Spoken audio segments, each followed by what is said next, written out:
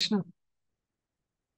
ॐ अज्ञानतिमिरस्य ज्ञानाञ्जनाशलाकया चक्षुरुन्मिलितं येन तस्मै श्रीगुरुवे नमः। नमो विष्णुपादाय कृष्णपृष्ठाय भूतले। श्रीमते स्वामीति नाम नमस्ते सरस्वते देवी गौरवाणी प्रचारिणे, निर्विशेषा शून्यवादी पाश्चात्य देश। जय श्री कृष्ण चैतन्य प्रभु नित्यानंद श्री अद्वैत गदाधर शिवासादि गौर भक्त वृंदा हरे कृष्णा हरे कृष्णा कृष्णा कृष्णा, हरे हरे। हरे राम हरे राम राम राम, हरे हरे। हरे कृष्ण। तो आज हम पढ़ेंगे श्रीमद भगवद गीता, अध्याय छः तो इस अध्याय का एक प्राण में इजी हमने देखा था ई फॉर एनिमी और फ्रेंड तो शुरू के नौ श्लोकों में भगवान ने बताया किस प्रकार से जो हमारा मन है, हमारा मित्र भी है और शत्रु भी है। उसके बाद ए फॉर अष्टांग योगा। तो अष्टांग योगा की जो प्रैक्टिसेस हैं, उसके बारे में बताया, टेन से लेके थर्टी सिक्स तक। फिर एस फॉर सक्सेस और फेलियर सो थर्टी सेवन से फोर्टी फाइव में जब अर्जुन अष्टांग योग का वर्णन सुनते हैं तो उनको लगता है कि इसमें सिद्धि प्राप्त करना, सफलता प्राप्त करना आसान नहीं है। तो इसलिए उसमें बताया है सक्सेस और फेलियर और फोर्टी सेवन जो श्लोक है वाई फॉर योगी जिसमें भगवान बताते हैं कि जो सर्वश्रेष्ठ योगी है, वो कौन है? तो श्लोक संख्या ग्यारह से बीस का उच्चारण करेंगे। शुचो देशे प्रतिष्ठाप्य स्थिरम् आसनम् आत्मना, नाति उच्छ्रितं, नाति नीचं चैलाजिन् कुशोत्तरम् तत्रैकाग्रं मना कृत्वा क्रिया, उपविशयासने युञ्जात्, योगम् आत्मविशुद्धये। समं काय शिरो ग्रीवं धारयन्नचलं स्थिरा। सम्प्रेक्ष्य नासिकाग्रं स्वं दिशाशन्नवलोकयन् प्रशान्तात्मा विगतिभिः ब्रह्मचारी व्रते स्थिता। मना संयम्य मच्चित्तो युक्त आसीत् मत्परा। युञ्जेनेवं सदात्मानं योगी नियतमानसा शान्तिं निर्वाण परमा मत्संस्थामधिगच्छति नाति अश्नतस्तु योगोऽस्ति, न च एकान्तमनश्नता, न चाति स्वप्नशीलस्य जागृतो नैव अर्जुन। युक्ताहारविहारस्य, युक्तचेष्टस्य कर्मसु, युक्तस्वप्नावबोधस्य योगो भवति दुःखः। यदा विनयतं चित्तम् आत्मनि एवावतिष्ठते निःस्पृहा सर्वकामेभ्यो युक्त इति उच्यते तदा यथा दीपो निवातस्थो नेङ्गते सोपमा स्मृता, योगिनो यत चित्तस्य युञ्जतो योगमात्मना। यत्र परमते चित्तं निरुद्धं योगसेवया यत्र चैवात्मनात्मानं पश्यन्ति, आत्मनि तुष्यति। सुखम् आत्यान्तिकं यत्तत् बुद्धिग्राह्यम् अतीन्द्रिया वेति यत्र न चैवायं स्थितश्चलति तत्त्वता।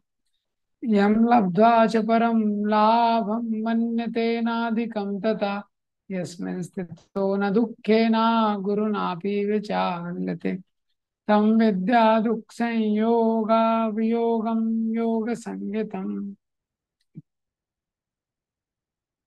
तो आज कल हमने चर्चा किया था श्लोक संख्या दस से लेकर श्लोक संख्या सत्रह तक। तो आज सोलह और सत्रह वापस से थोड़ा डिटेल में चर्चा करेंगे। सोलह और सत्रह तो दस से लेके पंद्रह तक भगवान बताते हैं, अष्टांग योग के लिए क्या क्या बेसिक रिक्वायरमेंट की ज़रूरत है? क्या क्या एक्सटर्नल जो बाहरी कंडीशंस क्या क्या फुलफिल होने चाहिए और अंदर की कंडीशन कैसी जगह में अष्टांग योग, कैसा स्थान होना चाहिए? कैसा आसन होना चाहिए? कैसा वातावरण होना चाहिए? ये सारी चीज़ों का वर्णन किया गया है कि क्या क्या एक्सटर्नल कंडीशंस चाहिए अष्टांग योग को करने के लिए।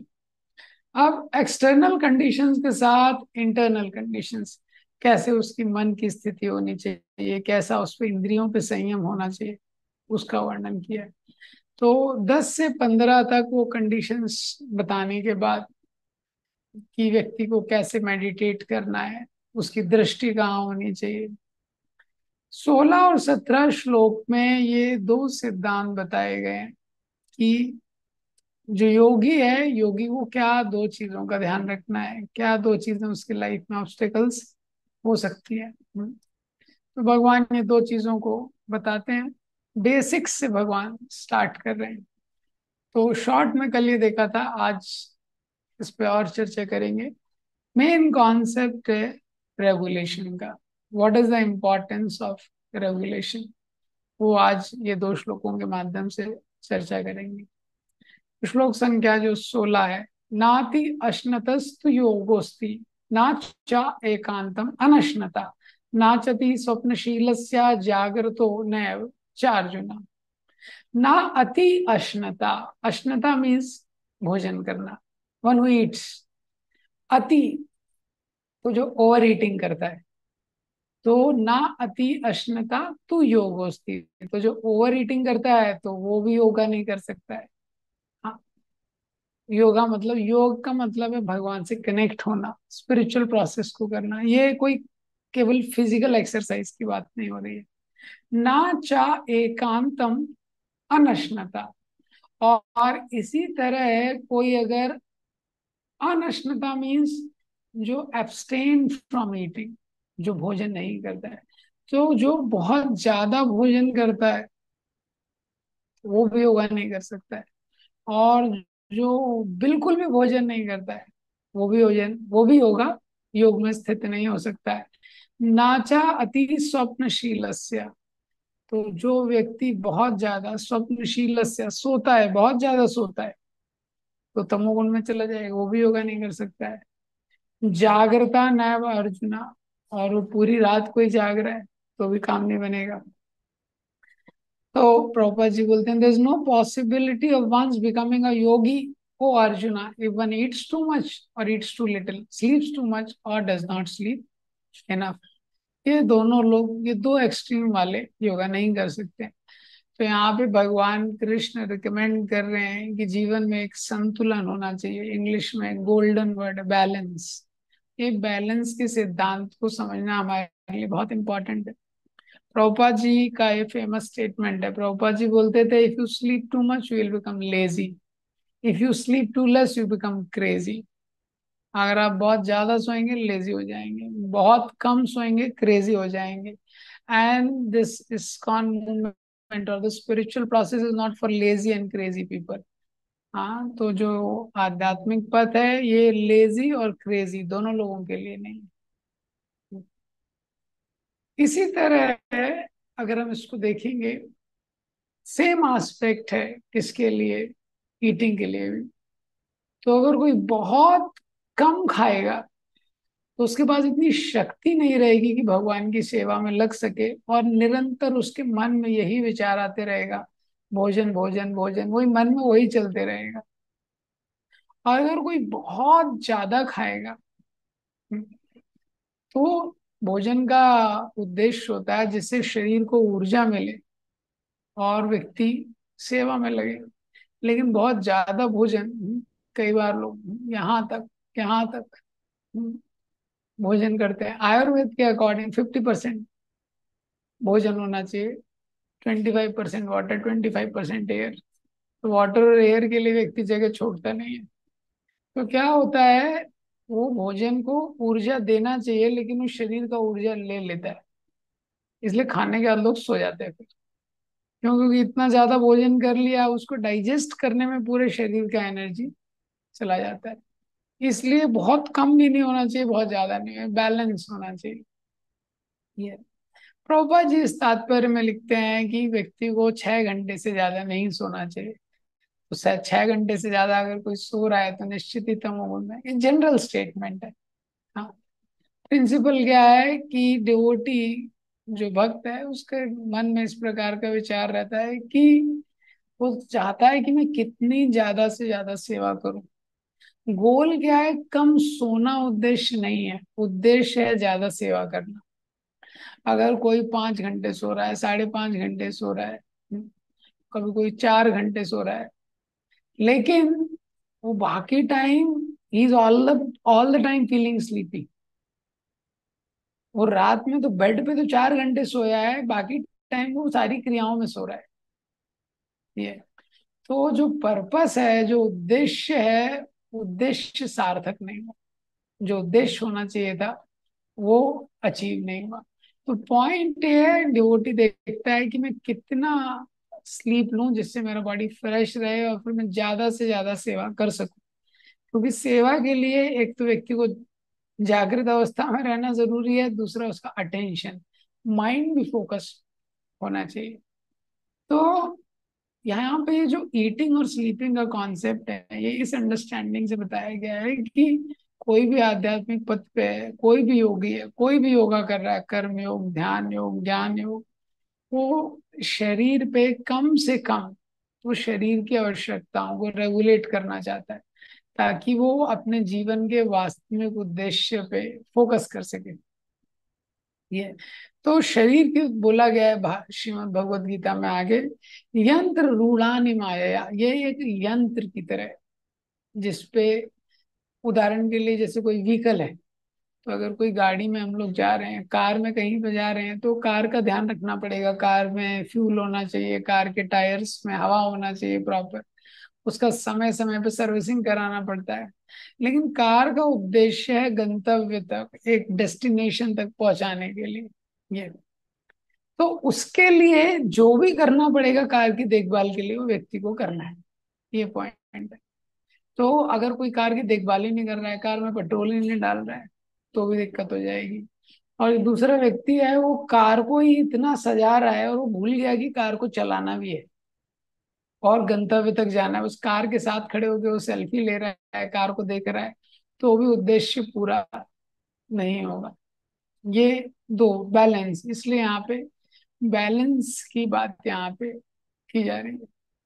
तो यहाँ पे भगवान नेगेटिव पॉइंट ऑफ़ व्यू से या ये एक्सप्लेन कर रहे हैं, किस प्रकार से ज़्यादा खाना नहीं चाहिए और ज़्यादा फास्टिंग भी नहीं होना चाहिए उसका, ज़्यादा सोना भी नहीं चाहिए, ज़्यादा जगना भी नहीं चाहिए।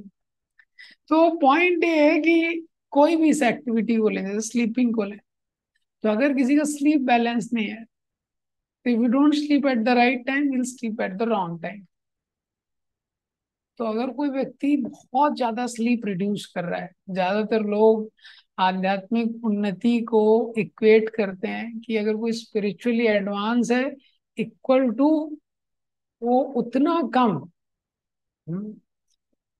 अंडरस्टैंडिंग क्या रहता है तो कुछ भी भोजन है, साधु का डेफिनेशन आते ही। हाँ। लोगों को लगता है ये तो सोता ही नहीं होगा, ये तो तो खाता ही नहीं होगा ये तो। हम जाते हैं कहीं कहीं देखते हैं, देखेंगे भी लिखा रहता है, फलाहारी बाबा। मतलब वो केवल फल ही खा रहे हैं इतने साल से। इस प्रकार के भी योगी रहते हैं। तो लेकिन we cannot equate equate spiritual advancement with denying bodily needs ये इक्वल नहीं है। स्पिरिचुअल एडवांसमेंट और बॉडीली नीड्स का एकदम। स्पिरिचुअल जो आध्यात्मिक प्रोसेस है, ये डिप्राइवेशन का प्रोसेस नहीं है एब्जॉर्प्शन का प्रोसेस तो हर व्यक्ति को देखना है कि मैं जिस स्तर पे हूँ, जो मेरी स्थिति है, मैं कैसे स्पिरिचुअली एब्जॉर्ब हो सकता हूँ? वो उद्देश्य। तो आध्यात्मिक क्रियाओं में एब्जॉर्ब होने के लिए पूरी तरह से उसमें चित्र लग जाए, इसके लिए व्यक्ति देखता है कि कितना मिनिमम स्लीप मिनिमम ईटिंग मुझे लगेगा। क्योंकि वो जो मिनिमम स्लीप का कोटा है, उससे नीचे कम स्लीप कम होगा तो दो चीज़ें होंगी। या तो हम दूसरे टाइम पे सोएँगे तो जब जब कर रहा है व्यक्ति तब सोएगा, प्रभुपाद बुक पढ़ रहा है तो सोएगा। और या तो माइंड क्रेजी हो जाएगा, उसका माइंड जो है हेल्दी वे में रिस्पॉन्ड नहीं करेगा। हम्म क्योंकि जब रेस्ट होता है, उससे इंटेलिजेंस काम करता है। ये। तो इसीलिए ये बताया गया है। तो दोनों चीज़ों का बैलेंस इंपॉर्टेंट है। तो उदाहरण दिया गया है तो हमारे जो शरीर की नीड है, जिसमें से दो को मेंशन किया गया है यहाँ पे तो मटेरियल नीड्स कैसी हैं? ये पेन किलर की तरह है। हाँ जब कोई व्यक्ति बीमार हो जाता है पेशेंट होता है तो क्या होता है कि जब वो हॉस्पिटल में जाता है, बहुत उसको तकलीफ़ होती है, दर्द हो रहा है। तो पेन किलर क्या है? नेसेसरी है, लेकिन सफिशिएंट नहीं है। ऐसे ही हमारी मटेरियल नीड्स है। तो पेन किलर तो उसको देना ही पड़ेगा। क्योंकि उसको इतना दर्द हो रहा है तो उसको पेन किलर देना ही पड़ेगा। ये।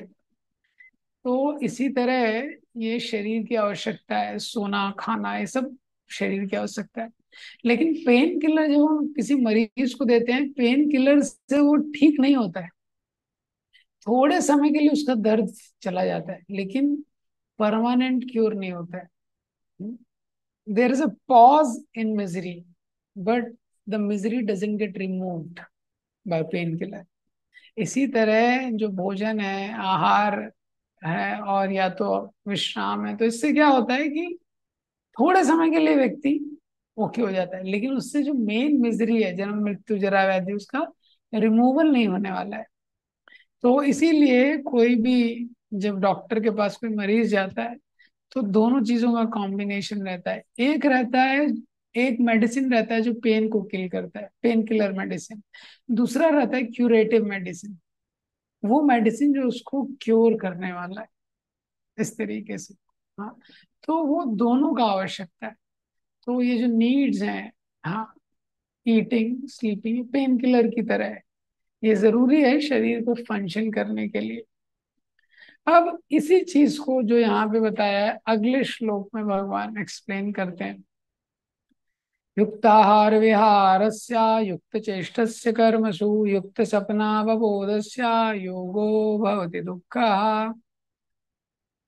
तो वही चीज़ जो पहले श्लोक में एक्सप्लेन की गई, भगवान यहाँ थोड़ा और डिटेल उसको एक्सप्लेन करते हैं। युक्त हर जगह है, युक्त आहार, युक्त विहार, युक्त चेष्टा, युक्त सपना। युक्त शब्द का मतलब है बहुत जगह इसको यूज़ किया गया है भगवत गीता में। तो युक्त का मतलब है बेसिकली कनेक्शन युक्त, योगा, ये सब एक ही रूट्स हाँ कि ऐसा जो व्यक्ति है, यहाँ पे युक्त को प्रभुपा जी ने ट्रांसलेट किया है, नियमित या रेगुलेटेड उसका रेगुलेटेड है। क्या क्या रेगुलेटेड है? आहार, विहार। विहार मतलब एंटरटेनमेंट आहार मतलब उसका जो ईटिंग है. चेष्टा मतलब उसके जो एंडेवर है. युक्त सपना व बोधस्य मतलब उसका जो स्लीपिंग है. तो जिस व्यक्ति का ये चार चीज़ें रेगुलेटेड है तो फिर क्या होगा? वो उसको दुख नहीं होगा. योगो भवती दुख. कहा तो वो उसके भौतिक क्लेशों को नष्ट कर सकता है. इसका मतलब क्या है? कि अगर व्यक्ति रेगुलेटेड नहीं है तो लाइफ जो ऑलरेडी दुखालय में है, वो दुखालय में और दुख वो बढ़ा लेता है। तो विहार विहार मतलब एंटरटेनमेंट तो भी सोचेगा व्यक्ति योगी के लिए क्या एंटरटेनमेंट है? वो अष्टांग योगी तो वहाँ जंगल में जा रहा है, वहाँ कुछ है नहीं, बेचारा अकेला है और नासिका के अगर भाग में उसको ध्यान करना है। नहीं, उसके लिए भी एंटरटेनमेंट है। जैसे विश्वनाथ चक्र ठाकुर ने लिखा योगी के लिए क्या एंटरटेनमेंट रहता है? वॉकिंग वो जंगल में है, जंगल में थोड़ा अभी योगा में ध्यान नहीं लग रहा है तो चल सकता है।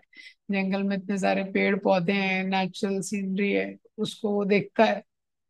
हाँ तो yogi can go for a walk और यही उसके लिए एंटरटेनमेंट है। तो ये बताया गया यहाँ पे, युक्त आहार, ये जो आहार शब्द है मतलब फ़ूड तो इंद्रियों का आहार युक्त होना चाहिए। ये केवल ईटिंग के लिए नहीं है, केवल फ़ूड के लिए नहीं है, आँखों के लिए भी, नाक के लिए भी, कान के लिए भी, युक्त आहार।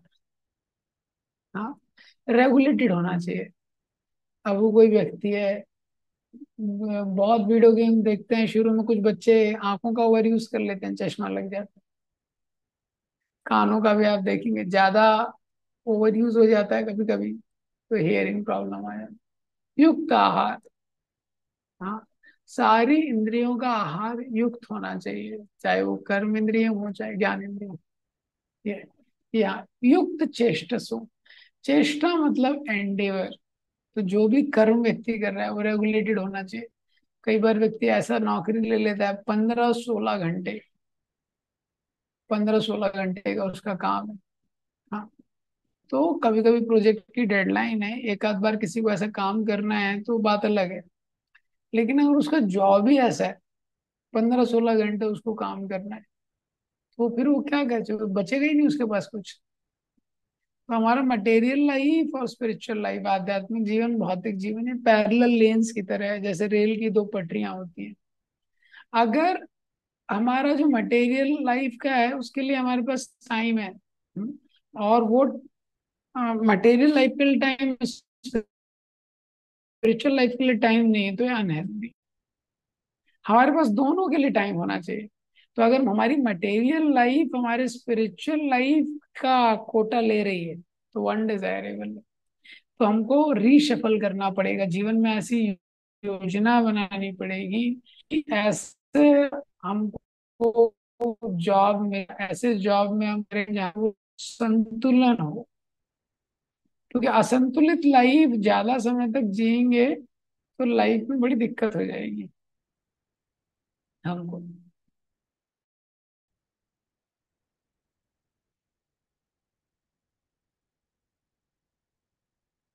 अगर अनस्टेबल लाइफ ज़्यादा समय तक हम लोग व्यतीत करेंगे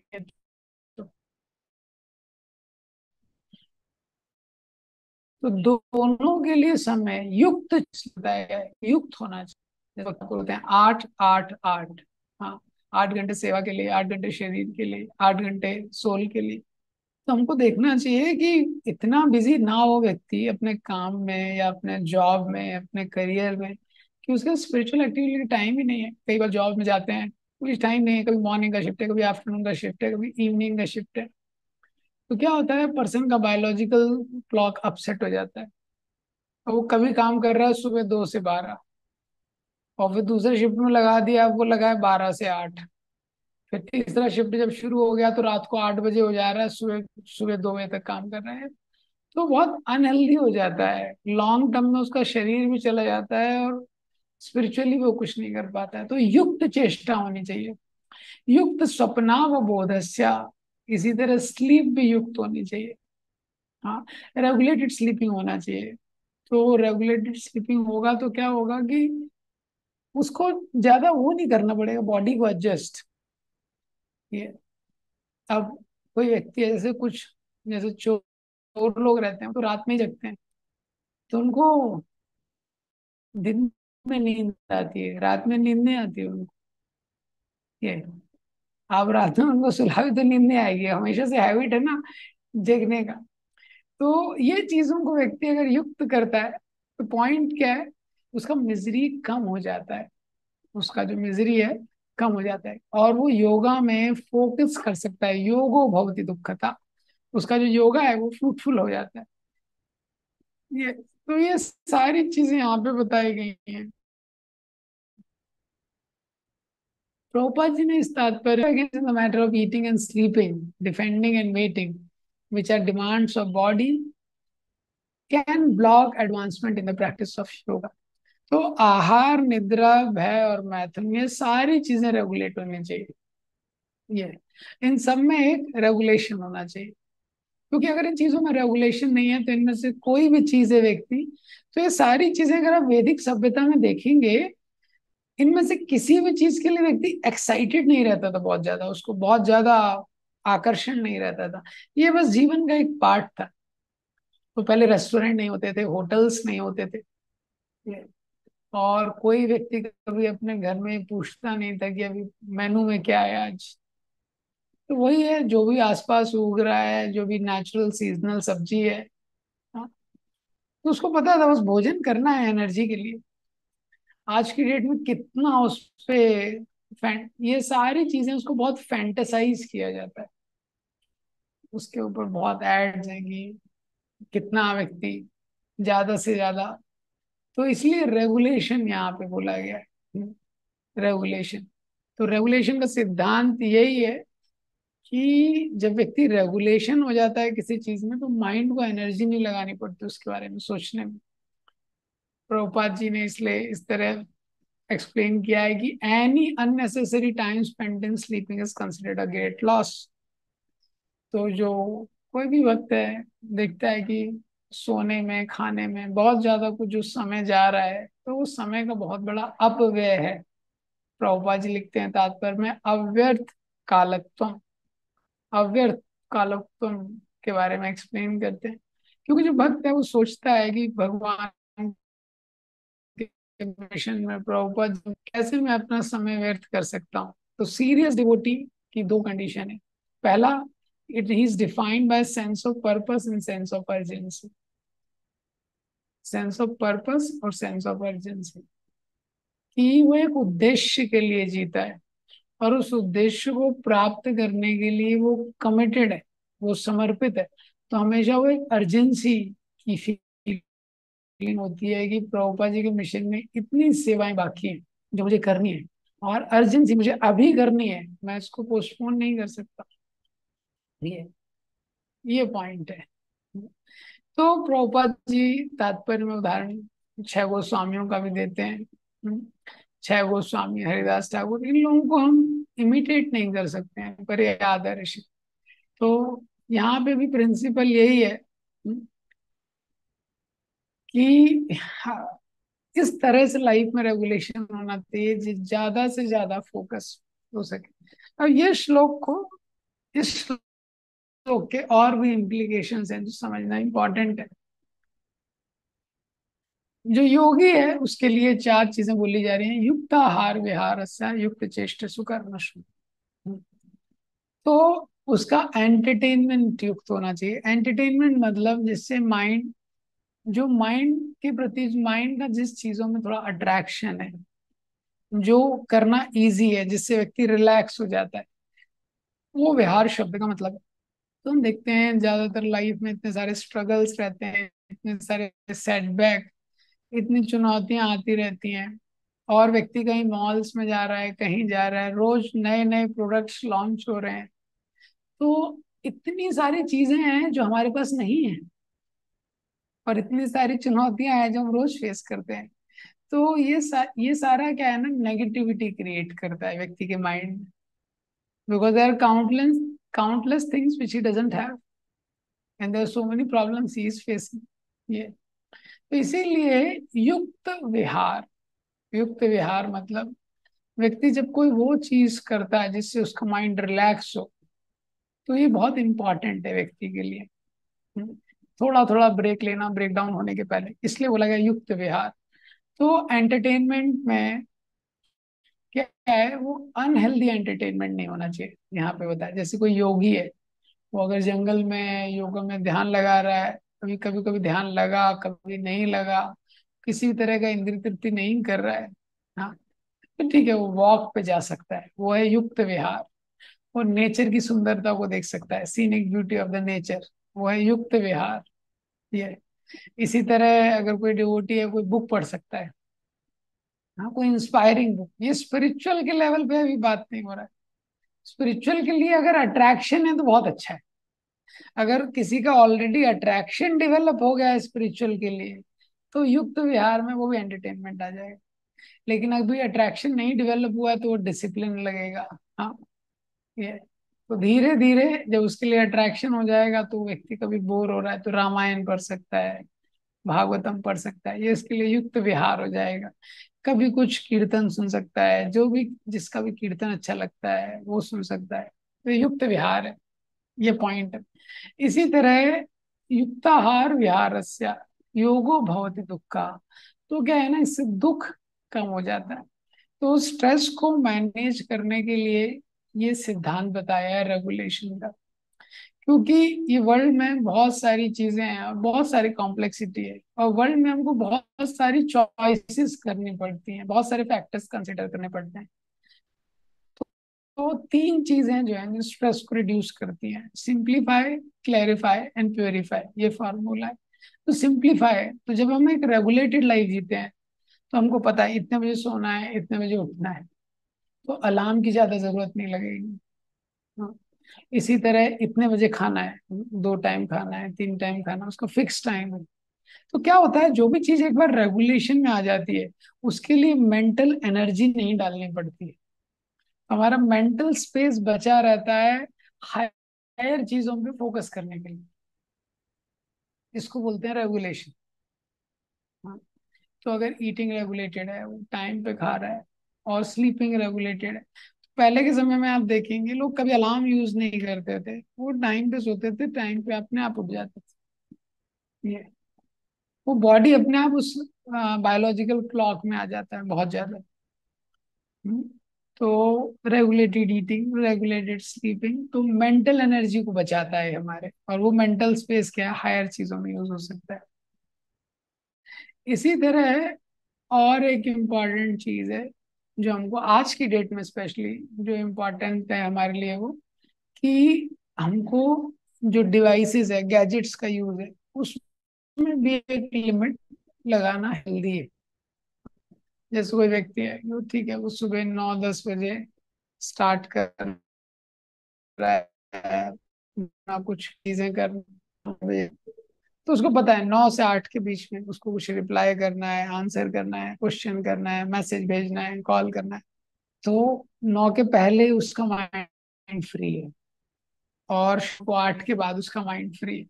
क्योंकि अगर 24 घंटे उसके गैजेट्स ऑन है और गैजेट से माइंड का सेटल कनेक्शन तो फिर क्या है, हमेशा उसका माइंड उसमें रहेगा और वो माइंड फ्री नहीं हो पाता है हायर चीज़ों के बारे में सोचने के लिए।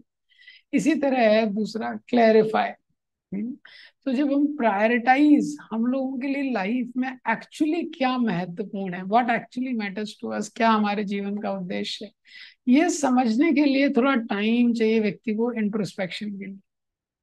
तो इंट्रोस्पेक्शन के लिए टाइम निकालना इम्पोर्टेंट है। तो क्या होता है, जब व्यक्ति बेस प्लेजर्स के बेस प्लेजर्स अगर किसी के रेगुलेटेड नहीं है तो अगर स्लीपिंग रेगुलेटेड नहीं है तो कभी दिन में सो रहा है, कभी रात में सो रहा है। तो कभी भी तो माइंड उसका एक्साइटेड रहता है इसके बारे में। जैसे टाइम मिल गया, सो गया वो। माइंड एक्साइटेड है उसका। कहीं लेक्चर में सो गया। ऐसे ही खाने के बारे में ईटिंग के बारे में। ये। अगर उसका रेगुलेटेड हैबिट नहीं है तो फिर क्या है कि अभी ईटिंग के बारे में काफ़ी एक्साइटेड रहेगा। ये खा लिया जाए, वो खा लिया जाए, ये बना लिया जाए। तो अब क्या होगा, जो माइंड का स्पेस है वो बेस प्लेजर में ही चला गया माइंड का पूरा एनर्जी हायर चीज़ों के बारे में ही कैनॉट थिंक कि जीवन में जो और उद्देश्य है, किसके लिए जीवन मिला है तो इंट्रोस्पेक्शन का टाइम नहीं मिलेगा उसको। तो सिंप्लीफाई क्लियरिफाई और तीसरा क्या है? प्योरीफाई तो जब उसके पास, जब उसकी ये एक्टिविटीज़ रेगुलेटेड रहती है ईटिंग स्लीपिंग तो वो एब्जॉर्ब कर सकता है स्पिरिचुअल एक्टिविटीज़ में। और जब वो स्पिरिचुअल एक्टिविटीज़ में अब्जॉर्ब करता है तो प्योरीफाई होता है वो। क्योंकि जब तक जितना हार्ट प्योरीफाई है, उतना उसके लिए आसान है। क्योंकि जब तक हार्ट प्योरीफाई नहीं है तो क्या है? अंदर रॉन्ग डिजायर्स तो अंदर गलत इच्छाएँ और बाहर जो है वो कुछ स्पिरिचुअल प्रैक्टिस करना चाहता है। मिसमैच है थोड़ा सिंक नहीं है अभी। सिंक नहीं हो रहा है इनसाइड और आउटसाइड तो वो सिंक होने के लिए व्यक्ति को हार्ट प्योरीफाई करना पड़ेगा। तो जब उसकी चीज़ें रेगुलेटेड रहेंगी और स्पिरिचुअल लाइफ में एब्जॉर्व होगा तो वो प्योरीफाई होगा हार्ट तो ये तीनों चीज़ें स्ट्रेस को डाउन करती हैं। तो जब लाइफ सिंपल होगी उसकी सारा ईटिंग स्लीपिंग सिंपल प्रोग्राम है, जितना नीडेड है। हाँ और इंट्रोस्पेक्शन के लिए टाइम है। What is the goal of life इसलिए हम देखते हैं जो इंट्रोस्पेक्ट करता है लाइफ का क्या गोल है, कितना जीवन बचा है, क्या उद्देश्य है। और स्पिरिचुअल एक्टिविटी तो उसका स्ट्रेस बहुत डाउन हो जाता है। इतनी सारी प्रॉब्लम्स वो इमेजिन करके रखी है उसने। और बहुत सारी प्रॉब्लम्स का सोल्यूशन सोचता है कि ये नहीं होगी तो लाइफ में कुछ हो ही नहीं सकता। पर ये तीन चीज़ें उसको हेल्प करती है। इसी तरह रेगुलेशन का एक बहुत बड़ा यूज़ है। रेगुलेशन से प्योरिफिकेशन होता है एब्जॉर्प्शन होता है और इवेंचुअली रियलाइजेशन मिलता है। जब हम चीज़ों को रेगुलेट करते हैं तो रेगुलेशन होता है, वो उससे फिर क्या होता है? प्योरिफिकेशन होता है। क्योंकि जब मटेरियल लेवल पे रेगुलेशन होता है तो स्पिरिचुअल एक्टिविटी में लगता है, जिससे प्योरिफिकेशन होता है। और जितना प्योरिफिकेशन होता है, उससे उतना एब्जॉर्प्शन बढ़ता है। और जितना एब्जॉर्प्शन बढ़ता है तो धीरे धीरे उसको रियलाइजेशन मिलता है। ये। तो सिद्धांत बताया गया है कि जब तक व्यक्ति रेगुलेटेड नहीं है हम्म, और वो अनरेगुलेटेड लाइफ जी रहा है तो जो सामान्य चीज़ें हैं जो पशु पक्षी जिसमें आनंद लेते हैं ऐसे मटेरियल प्लेजर के बारे में बहुत एक्साइटेड रहता है। हाँ खाने के बारे में सोने के बारे में आहार निद्रा भय मैथुन सारी चीज़ों के बारे में एक्साइटेड रहता है। और ऐसे ही प्लेजर्स का मैं बेटर वर्जन एंजॉय करूँ। इसलिए पहले के समय में किसी ने सोचा नहीं होगा। आज की डेट में चालीस लाख, पचास लाख के भी बेड हैं। हाँ तो आप सोच सकते हैं अलग अलग तरह के फाइव स्टार होटल्स में जाएँगे तो कितने थिक मैट्रेसेस वो यूज़ करते हैं। हाँ तो अलग, क्यों? स्लीपिंग का प्लेजर देने के लिए। कि स्लीपिंग में क्या प्लेजर है?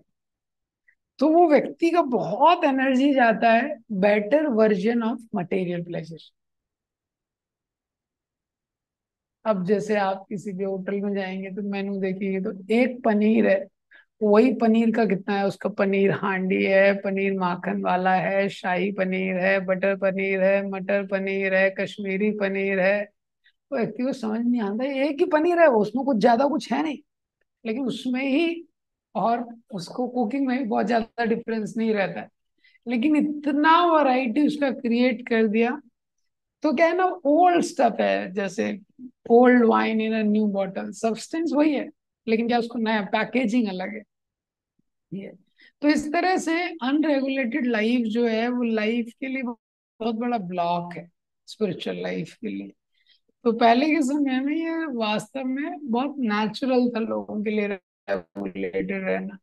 लेकिन आज के समय में स्थिति वैसी नहीं, क्योंकि नेचुरल है, लोगों के लिए रेगुलेटेड रहना, उस तरीके से। इसलिए सिद्धांत और ज़्यादा इम्पोर्टेंट हो गया है।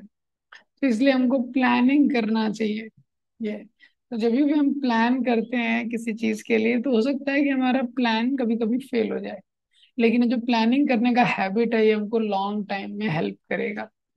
क्योंकि प्लान मतलब क्या होता है, कोई भी हम योजना बनाते हैं स्पेसिफिक योजना बनाते हैं कि इस समय में मैं ये क्रिया करूँगा, इसको बोलते हैं प्लानिंग लेकिन हमारा ज़िंदगी है डायनामिक तो क्या होता है कि कभी कभी उस समय में कुछ और चीज़ आ गई। आपने प्लान किया, मैं दस से बारह के बीच में ये पढ़ाई करूँगा, कोई आपसे मिलने आ गया, घर में कुछ प्रॉब्लम आ गई, कुछ भी आ गया, अभी आपको वो चीज़ करनी पड़ेगी। लेकिन ये जो स्पेसिफिक प्लान हो सकता है कि कभी कभी एग्जीक्यूट ना हो। हमेशा एग्जीक्यूट ना हो। लेकिन ये प्लानिंग की हैबिट रहनी चाहिए। तो जब व्यक्ति प्लानिंग का एक हैबिट रहता है उसको, ठीक है, कि कितने समय पे मुझे सोना है, कितने समय पे उठना है, कब खाना है, कब मुझे स्टडी करना है तो ये जो हैबिट है इवेंचुअली लॉन्ग रन में लॉन्ग रन में उसको हेल्प करती है। लॉन्ग रन में उसकी लाइफ में बहुत हेल्प करती। तो ये जो बैलेंस यहाँ पे बताया जा रहा है प्रैक्टिकली ये बैलेंस हम अगर अपने प्रैक्टिकल एप्लीकेशन इसका देखेंगे तो इसमें एक डायनामिक बैलेंस हमको लगता है। जनरली वो ऐसा नहीं रहता कि हमने एक प्लानिंग की कि आज चार घंटे ये करेंगे, फिर उसके बाद ये करेंगे, फिर उसके बाद ये करेंगे। ऐसे प्लानिंग कर सकते हैं, लेकिन जब प्रैक्टिकल लाइफ आती है तो बहुत चीज़ें चेंज हो जाती है। हाँ तो कभी कुछ इमरजेंसी आ जाती है, कभी कोई मिलने आ जाता है, कभी हमने कुछ प्लान किया है कि आज ये करेंगे, कभी कोई फ़ोन कॉल आ गया, उसमें हम लोग आधा घंटा लगे हुए हैं।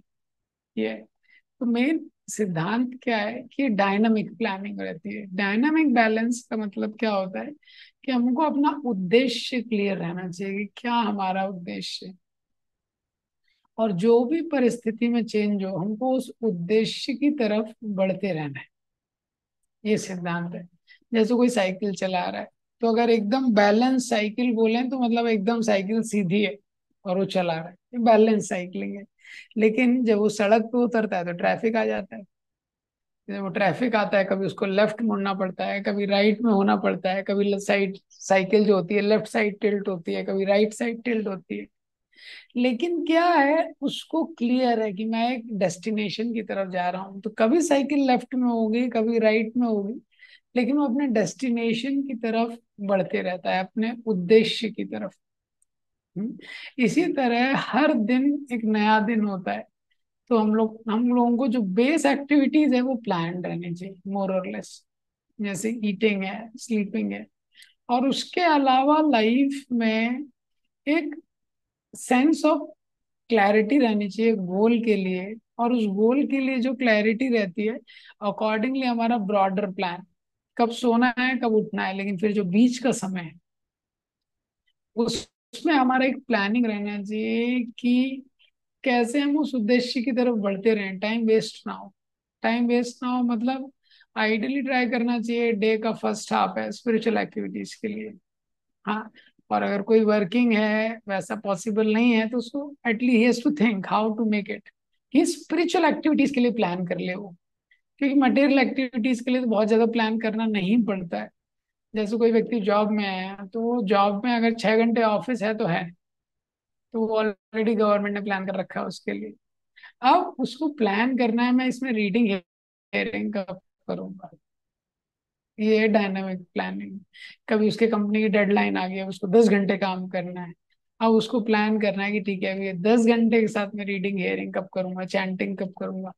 ये प्लान होना चाहिए उसको, क्योंकि मेरा उद्देश्य क्या है फाइनल गोल है to please Krishna final goal है to go towards the spiritual to achieve the spiritual goals तो उसको ध्यान में रखते हुए जो भी करंट परिस्थिति है, कभी हेल्थ अच्छा है, कभी हेल्थ थोड़ा डाउन है हाँ कभी वो घर में है, कभी वो ऑफ़िस में है, कभी फ्रेंड्स के साथ है, कभी मटेरियल फ्रेंड्स के साथ है, कभी स्पिरिचुअल फ्रेंड्स के साथ है ऐसी डायनामिक सिचुएशंस में उसको ये प्लान करना है कि ये परिस्थितियों के साथ कैसे मेरा जो आध्यात्मिक प्रोग्राम है रीडिंग हेयरिंग चैंटिंग या हेल्दी वे में चलता रहे। तो ये शॉर्ट में हमने कुछ सिद्धांत डिस्कस किए रेगुलेशन के लिए यहाँ पे बताए। ग्रंथराज भगवद गीता जय शिल प्रभुपाद।